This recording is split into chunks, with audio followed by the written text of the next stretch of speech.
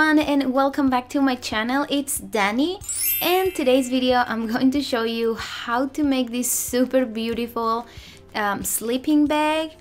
It's a really beautiful project. I'm so happy of how this project turned out.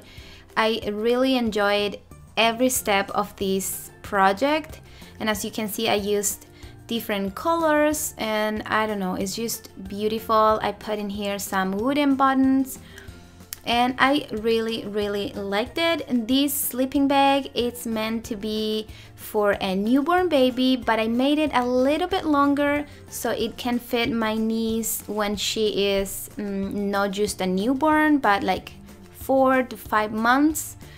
And yes you will have all the details all the final measurements on my blog. Remember the link it's in the description box below.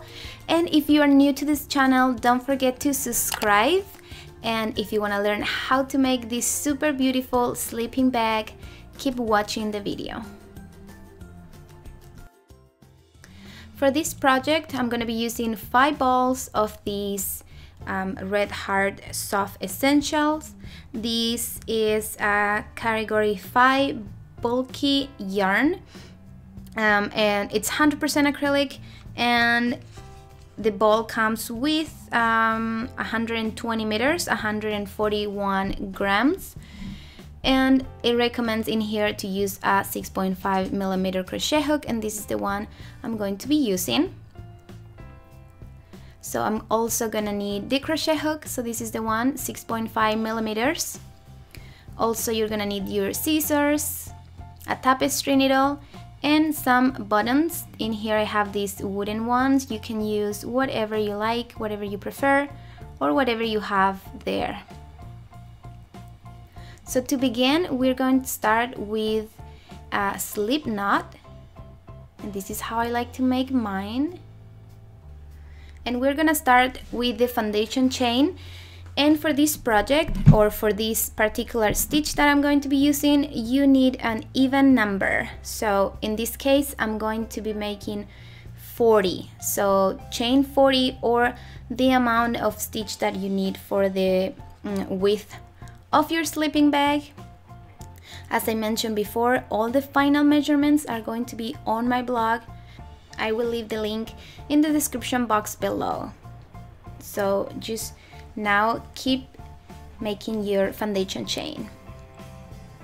So in here I have my 40 chains and now we're going to single crochet in the first, second, third, and the fourth chain from the hook.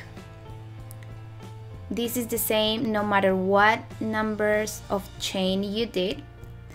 And now for the next stitch, it's going to be double crochet. And it's as simple as this. Next is a single crochet and next one double crochet. This um, stitch doesn't have a name or at least that's what my book said. It's called just textured stitch. so just keep doing this all the way until you finish this first row. Here I have the two last stitches, so the second last it will be a double crochet and the last one will be a single crochet and this it's going to be in every single row you will have to finish with a single crochet no matter what. So for the next row we are going to start with uh, chain three. Turn your work. And this chain it will count as the first stitch so this will be the first double crochet. So this is why we don't make the next stitch in this very first stitch. We're gonna skip that one and single crochet in the next one. In here. So single crochet and this is how we're gonna start every single row. The second the next stitch is a double crochet and the next one it will be a single crochet. And this is the sequence we have to do. And as you can notice we are making the double crochet over the single crochet from the last row and vice versa. The single crochet it's over the double crochet we did in the last row. So that's how you can notice that you are doing a good job and that you're doing um, the stitch properly so basically keep doing these all the way down until you complete this row number two. And in here I have my two last stitches. So the second last one it's a double crochet. And the last one that we will make it just right here it's a single crochet. So remember every single row we're going to finish with a single crochet. And for the next row chain three. That will be your first double crochet. And now turn your work and single crochet in the next stitch. And basically we are going to be doing this all the way along until you reach the length of your um, sleeping bag that you need. Or you can change the colors like I did and then you can do that until you complete the length that you need.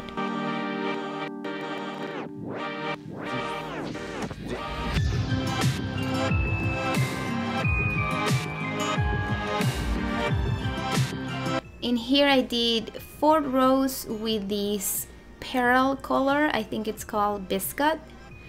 And now I'm gonna change the color and to do this, as you guys can see in here, this is the last stitch, so it's the single crochet. And if I wanna close the single crochet, I will do this, but because I wanna change the color, I'm going to close that single crochet with the new color, which in this case is this super pretty pink so just finish that single crochet with the new color and now just chain three and start your new your new uh, row again. And basically this is what we are going to be doing um, until you reach the length of your sleeping bag. And in this case I'm going to be doing 124 centimeters, that's a meter and 24 centimeters. And why I did this, because my knees measures um, 48 centimeters, so I wanted to make 50 centimeters, and so per side, it will be a total of 100 centimeters. Plus the hoodie, that it's another 24 centimeters, so this is how I got that size. So again, if you have a bigger baby and you need to make it longer, you can just do more rows. And if you want it wider, you can just uh, make your foundation chain a little bit bigger. And this is all we have to do for now. It's a giant and super long rectangle. So keep doing this until you reach the numbers of rows that you need to finish. So in here I have my 124 centimeters and of course if you changed your colors as much as I did you will have to wave in those ends. And I like to do it with this metal tapestry needle because I think it helps me better when I'm waving in those ends. Of course you can avoid this step if you didn't change the colors so you don't have to be waving these ends, but if you did so, you are gonna have to do this.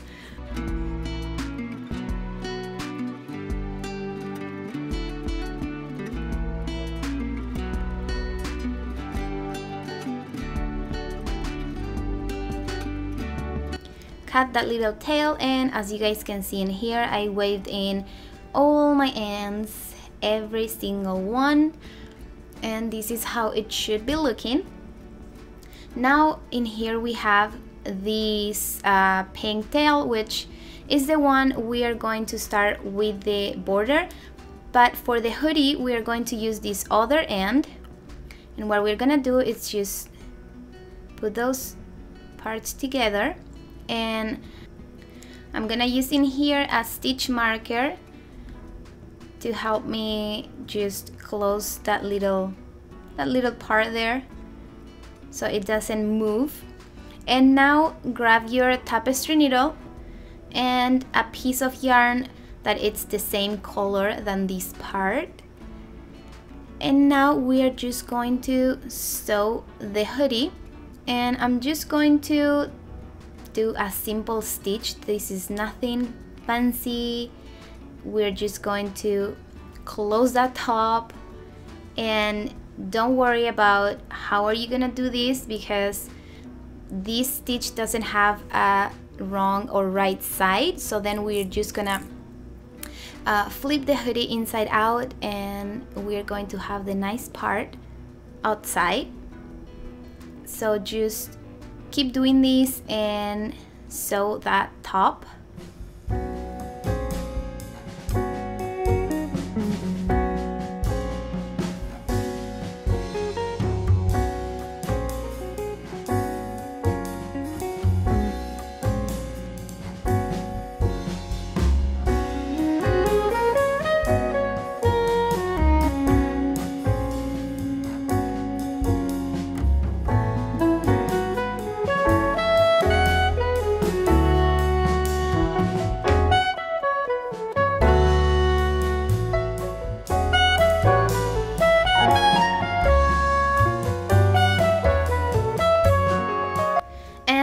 done, just wave in those ends. This is how it should be looking from the outside. And yes, now just wave in those ends. And now we're ready to start the border of this beautiful sleeping bag.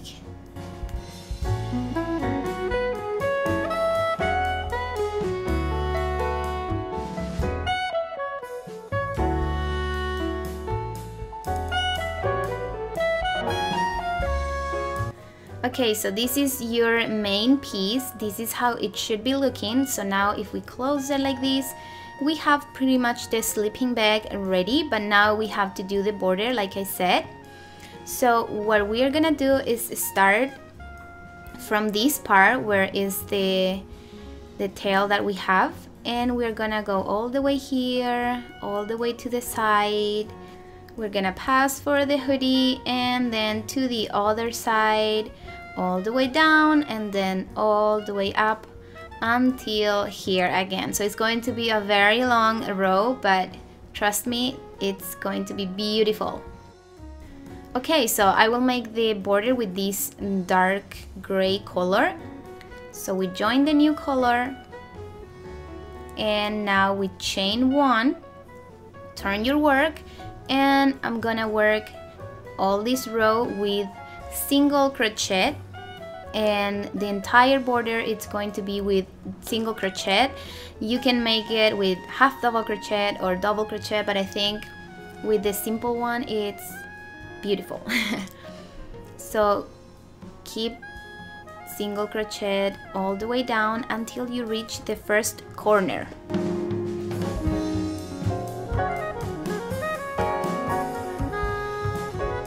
So in here where the first corner is I will single crochet three together and this is how the corner is gonna be perfect and round so you can then keep working on the side with no problem. And now we have to work in here. This is the side of the sleeping bag in here you can see the um, rows that you did. So basically in here it's going to be easier for me because I have colors so I can see how many rows of that color I did. So in here I did three colors or three rows of the pink one so I have to make three single crochet in this part.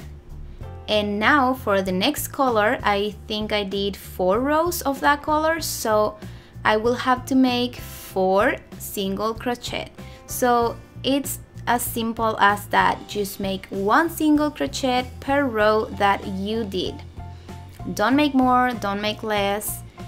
Just one single crochet per every single row and this is why I say that if you make your sleeping bag with different colors it's going to be helpful for you because you're gonna know how many rows of that color you did or otherwise you can just count the total amount of rows that you did and just make the same amount um, for the side and so just keep doing this all the way around and all the way down until you reach your hoodie and you're gonna do the same for the hoodie and then for the other side down here until you get to the other uh, corner in here I'm in the last corner so we're gonna do the same thing.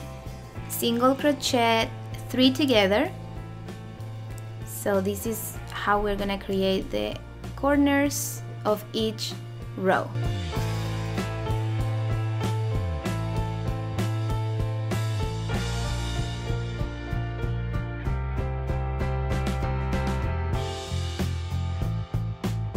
when you're done just join that row with a slip stitch.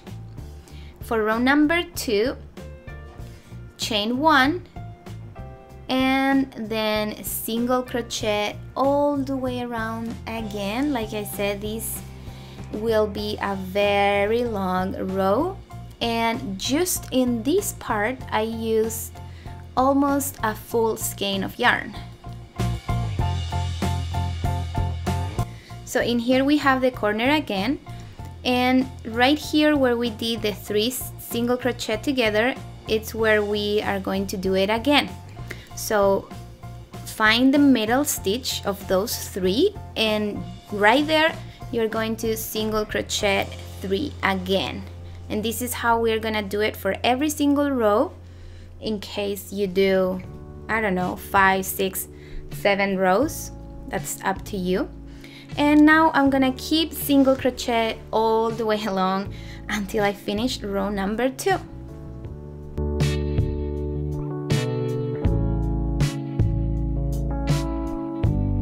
For row number three are going to be making the buttonholes. So now we're gonna grab the buttons and I'm going to place them where I want them to be.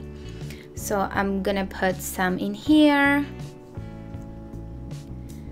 and basically this is where you have to be playing with your buttons and see where you want them to be in both that in both sides. And once you have them ready now I'm gonna be placing these stitch markers. So I know where do I have to make the buttonholes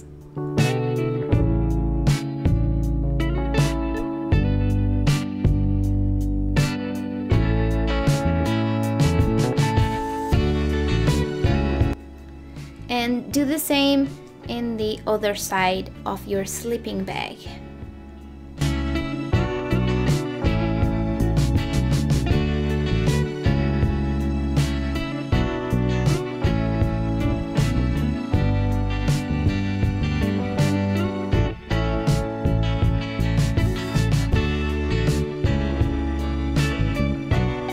And to make that buttonhole, the only thing you have to do is in here where you have the stitch markers take it out. And depend of the size of your button is if you are gonna leave one chain or two or three. In in here I will chain one two and then skip two stitches and single crochet in the third one. And that's how I created the buttonhole. So keep doing these all the way down and do the same process for every single stitch marker that you have. And as you guys can see in here, my button passed through the hole, so that's a good sign. So keep doing this single crochet and when you reach the second stitch marker it's where you are going to make the second buttonhole and take the stitch marker out put it aside and now chain two and skip two. And of course if your button is smaller you can just chain one and skip one. If your button is bigger you guys understand what I what I'm trying to say. So keep doing this all the way down and and in the other side of your sleeping bag as well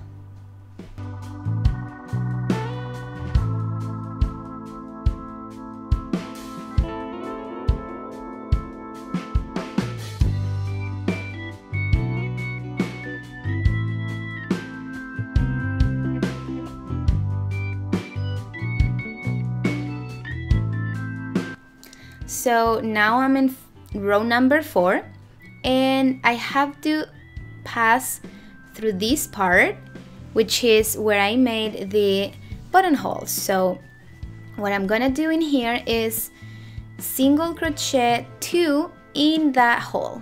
Just pass your hook, yarn, yarn over, and single crochet one, and then again and now I'm ready to go. And you have to do this in every single buttonhole that you have. If you did three single crochets uh, or, or, three chains you have to do three, three single crochet and like that. So keep doing this all the way. And in here I just finished. I did um, two more rows after row number four row number five with just single crochet and then I did one more with slip stitch. And now you just have to sew the buttons to your sleeping bag. And basically that's it. That's how uh, your sleeping bag is done. I really really enjoyed making these. And you can see the stitch. It's very textury but it's so beautiful and so easy and yes I just love it so so much. And now like I said I just have to put the buttons in my sleeping bag. It's completed. So thank you guys so so much for watching this video. If it was helpful helpful and if you liked it please give it a thumbs up. Don't forget to subscribe to my channel. And remember that every single part of this uh, step by step the reading pattern, the final measurements, all the materials, everything that you need to know to make this. It's going to be on my blog, so if you want to make this project on the go somewhere, you have all the instructions there.